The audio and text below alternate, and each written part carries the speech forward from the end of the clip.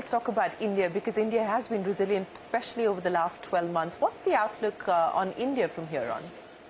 So I think India is one of the few areas where the world can look to to find a source of optimism, investment, innovation, energy, and the right kinds of future investment when it comes to human capital as well.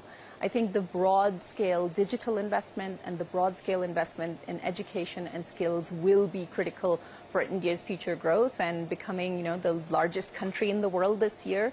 It's critical that that happens. Mm -hmm. Uh, one of the issues that I know that you've been focused on as well is, of course, the widening gender gap. And things haven't gotten better on that front. And if anything, they've gotten worse.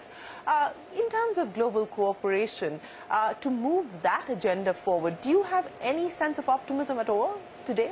So look, there's been a backsliding over the last three years, and you know, you and I have spoken about this before. It's very clear that gender equality has taken a hit, like many other aspects of human development. The people that were the most disadvantaged became more disadvantaged over the course of these last three years.